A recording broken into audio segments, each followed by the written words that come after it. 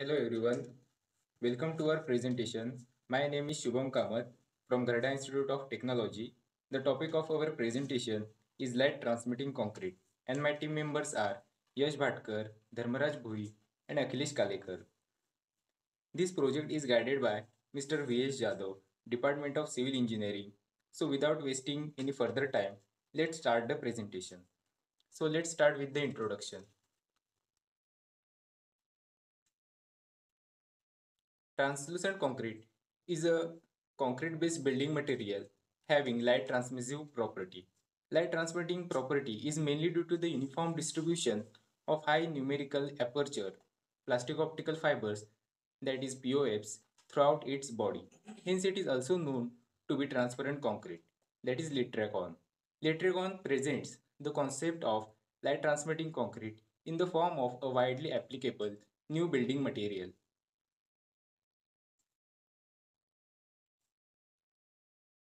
Now Litracon history. This product was invented by a Hungarian architect Aron Losonczi in 2001. He successfully produced the first transparent concrete block in 2003 and he named it as Litracon. In 2004, he started a German company named Litracon and started producing Litracon commercially. Now objectives of our project to study the light guiding properties of light transmitting concrete, to compare the properties of conventional concrete with light transmitting concrete, to prepare 3D model of light transmitting concrete panel using any one software. Now the next slide will explain by Dharmaraj Bhui. My name is Dharmaraj Bhui from Gharda Institute of Technology and I am going to discuss about the scope of the work uh, great insulating material. It is a great insulating material that protects against outdoor outdoor extreme temperature while also lighting in daylight. To light up, uh, it is used to illuminate underground buildings and structures such as subway station. Excellent, excellent compromise for building in harsh climate. And this makes it an excellent compromise for building in harsh climate. Uh, where it can shut out heat or cold without shutting the building from daylight will change the opacity of architecture. In the next few years, as an engineer further explore this exciting new material, it is sure to be employed in a variety of interesting ways that will change the opacity of architecture as we know it. Innumerable possibilities. The possibilities for translucent concrete are innumerable the more it is used, the more new uses will be discovered. Methodology, light transmitting concrete. Uh, first of all is the problem identification. We predict the problem that we are going to face while working on the project and we find the corresponding solution for same. Second one is the research. Collection of the research papers on light, light transmitting concrete. Their information available on the web and refer the content from the previous projects and some literature papers. Uh, objectives. We decided our objectives for our study. Data analysis. Data analysis of analysis of data collected from the research papers, webs, and from previous year projects. Study of light transmitted concrete, uh, procedure of the light transmitted concrete, application of light transmitted concrete, examples of light transmitting concrete and 3D panels of the light transmitting concrete.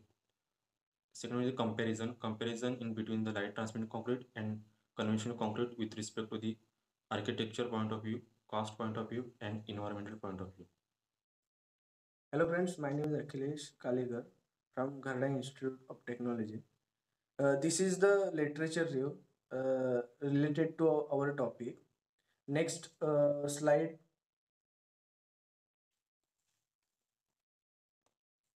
Next slide is a principle of light transmitting concrete. Uh, translucent concrete works uh, uh, based on uh, nano optics. Fiber are placed directly on top of each other. Uh, fiber acts like slits and carry lights through it. Next is a material for uh, Litracon. First material is cement. Ordinary Portland cement (OPC) is used for uh, transparent concrete. Second is uh, sand. The, the size of uh, sand should pass through 1.18 mm sieve. Uh, third one, water. Water to be used for transparent concrete should be uh, should be of drinking water quality. Last one, optical fiber. Thickness of the optical fibers can be varied between 2 micrometer to 2 mm.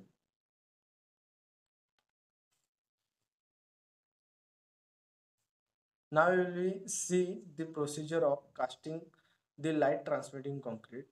Preparation of the mold. Preparation of the mold is specimen wooden mold because we have uh, drill holes on the base of the mold to fix the optical fibers and wooden uh, mold is uh, easy to prepare.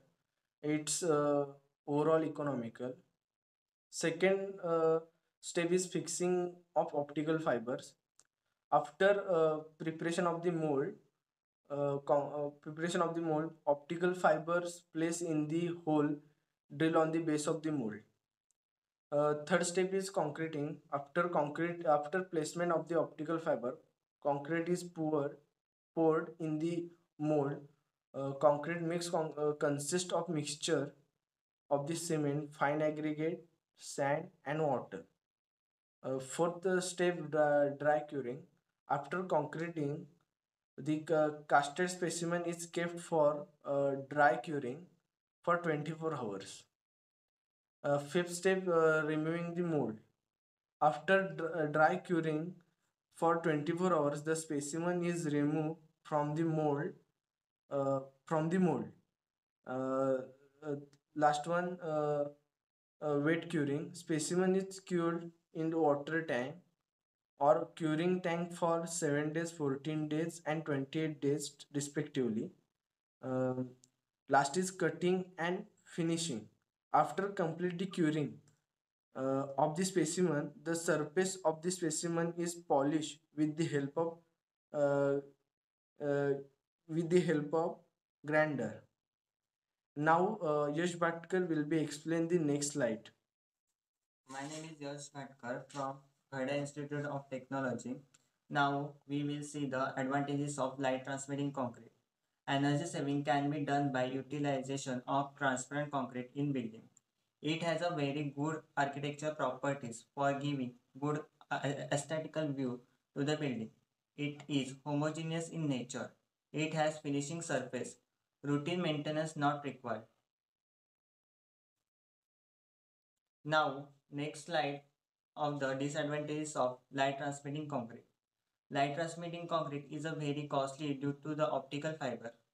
Casting of transparent concrete block is very difficult. It's a precast product. It cannot be casted on site. So, if the site is far from the manufacturing factory, transportation cost may affect it. After that, examples of light transmitting concrete. Italian Pavilion. The Italian Pavilion, located in Expo Park, Shanghai, architecture was uh, Giampaolo uh, Imbrighi, Sapienza University of Rome. Area was 3600 meters square and height of 18 meter.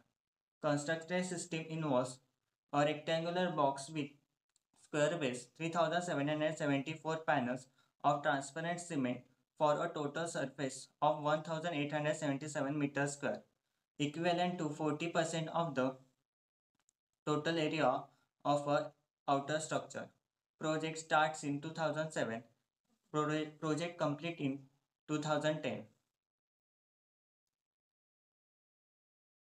second the europe gate the europe gate located in Komárom hungary dimension 3.5 meter by 3.5 meter. Architecture was Aron Losonczi and Oros Lavadas. The Europe Gate is a sculpture made out, out of litracon or light transmitting concrete. The sun illuminates the 37.6 feet larger litracon piece of the sculpt state statue. in the morning and the late afternoon and by the night. And even more impressive, we can see because of the embedded light source project complete in 2004. Third example, Cella Septichora Museum located in Hungary. Architecture was Batman Architects. Area was 50 square meters. Material was glass optical fiber. Project start in 2005. Project completed in 2006. Now, Dharmaraj will explain. Next slide. Application of light transmitting concrete. In the first image, we can see here it is used for the decorative purpose and also uh, interior design purpose. It is used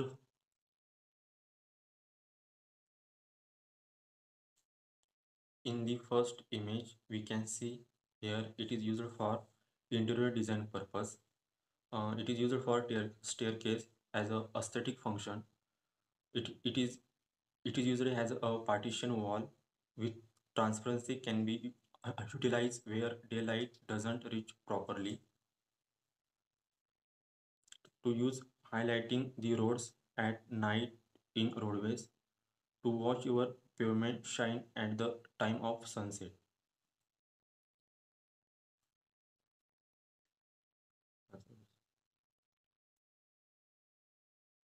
Now Shubham Kamath will explain the next slide. We have prepared light transmitting concrete panel in SketchUp Pro 2020. In first image, we have prepared 3D model of light transmitting concrete. And in second image, the light source is just behind the 3D panel. And in third image, we can see the 3D model of light transmitting concrete and the light source is just behind the 3D model. Now the comparison between the conventional concrete and light transmitting concrete. In conventional concrete, optical fibers are not placed in concrete mix, while in light transmitting concrete, optical fibers are placed in concrete mix. Uh, conventional concrete is less costly as compared to the light transmitting concrete, while light transmitting concrete is very costly as compared to the conventional concrete. The compressive strength is less as compared to the light transmitting concrete. And uh, the compressive strength is more as compared to the conventional concrete. Conventional concrete is not used for decorative purposes, while light transmitting concrete is used for decorative purposes. Conventional concrete doesn't have light transmitting property while light transmitting concrete has light transmissive property. Conventional concrete is not a green building material, while light transmitting concrete is a green building material. Now conclusion. Litracon is an emerging trade in concrete technology. It's considered as a special concrete which ensures future benefits. Its initial cost is high, but routine maintenance is not required, and in long run, it may be advantageous. It's a green building material, reducing the light cost during daytime. It's proved to good both aesthetic appearance and structural stability. If the price of the product get reduced, it is sure that the future construction industry will be in the hands of Litracon. Now, these are the references. Thank you so much.